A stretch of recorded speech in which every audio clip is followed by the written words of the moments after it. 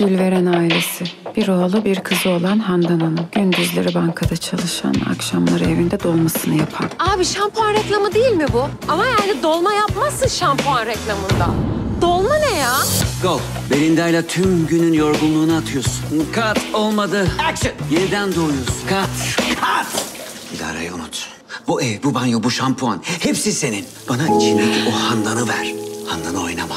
Handan o.